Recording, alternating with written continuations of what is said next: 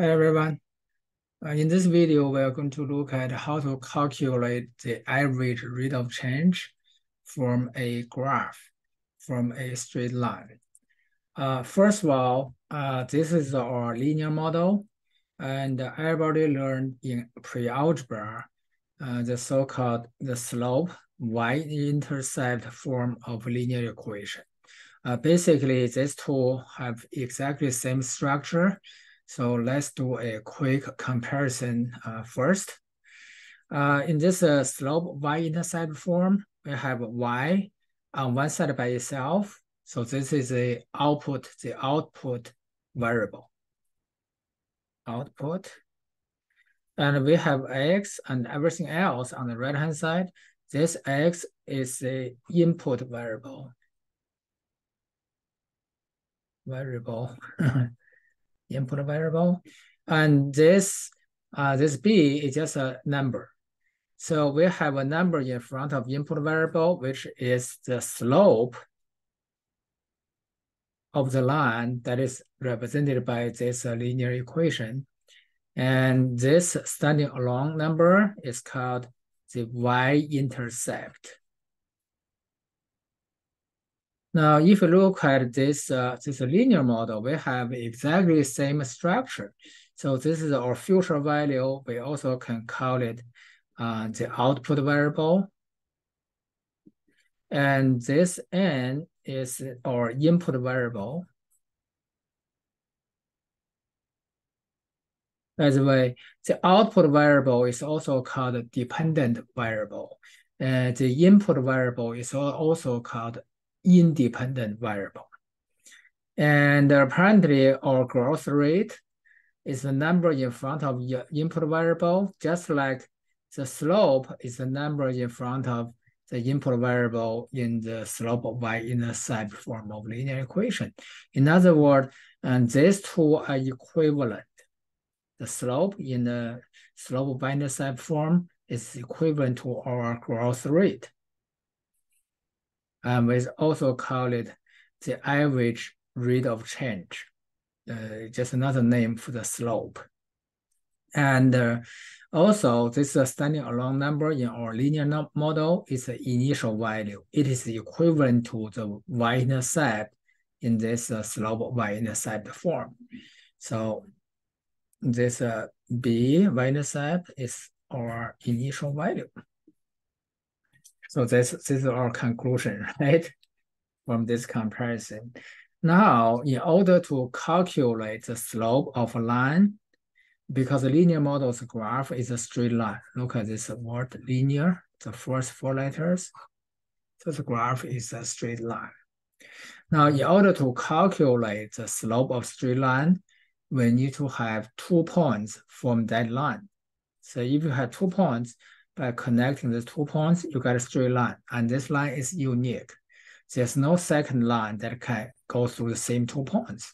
And that is why having two points, we have enough information to calculate the slope of the line that goes through these two points. And the formula to calculate the slope of a line from these two points is this. So these are the two points. You're going to use y value minus y value, put it on the top, x value minus x value and put it on the bottom. Again, x represents the input, y represents the output. In other words, output minus output divided by input minus input. And also, um, uh, you need to be uh, aware of this. It doesn't matter which y minus which y, as long as you do it consistently. Consistently. For example, if you use y2 minus y1, on the bottom, you use x2 minus, minus x1. On the top, if you use y1 minus y2, on the bottom, you're going to use x1 minus x2. Either way, you're going to get the same value. Okay. Now, let's look at our example here.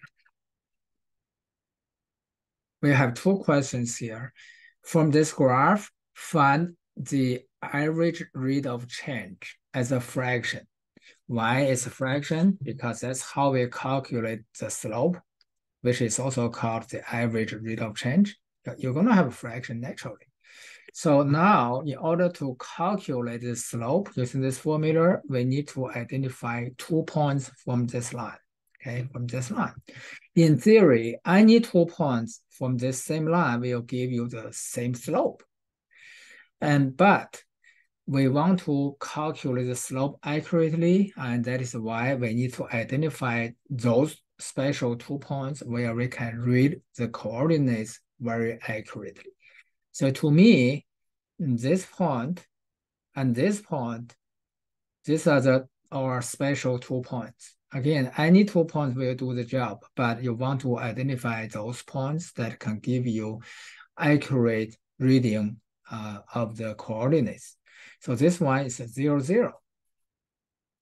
And this one is a four and a one. Remember, always uh, register a pair of numbers in the order of input and output.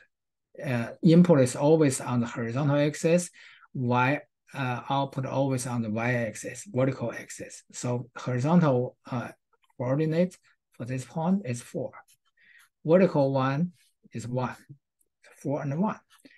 Now, having these two points, we have enough information to calculate the slope, uh, also called average uh, average rate of change, also growth rate in our linear model.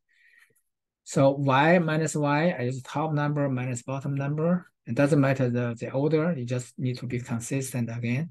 This one from top to the bottom, zero minus four. So I get a negative one over negative four. Negative divided by negative is positive. So final answer is one quarter. So that's our answer. Positive slope representing uh, going up from left to the right, okay, increasing. Now, second question is, what is the unit of the average rate of change?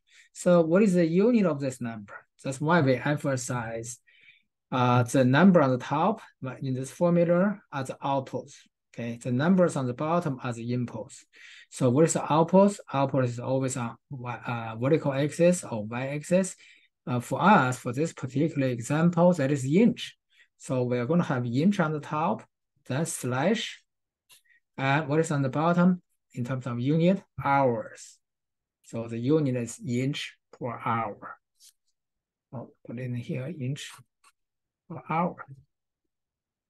So that's all for this video. Uh, see you guys in the next one.